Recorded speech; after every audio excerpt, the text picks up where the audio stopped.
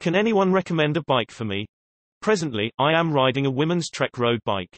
I ride mostly flat roads and sidewalks, approximately 125 miles per week. My bike is six years old and I need a new bike.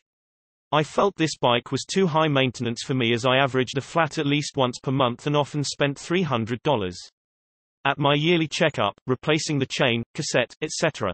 If it's just about maintenance costs, maintenance of a new, regular bike is going to be just as expensive or even more expensive because newer components usually cost more e.g. 11-speed components versus 10 or 9-speed. You could get a low-maintenance bike, for example the chain on a single-speed or internal gear hub lasts much longer and there is no expensive cassette which needs replacement.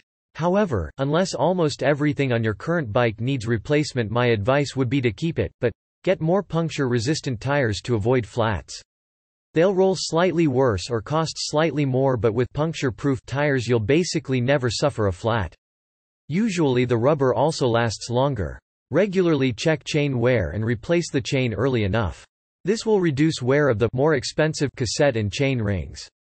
And of course keep the chain clean I just wipe it down with a rug, others go as far as taking off the chain and well lubricated. Get relatively cheap chains and cassettes. For example Shimano 105 chains and cassettes are much cheaper than their Ultegra or Dura Ace counterparts while performing almost identically. Do as much maintenance yourself as possible. With your weekly mileage it absolutely makes sense to get appropriate tools.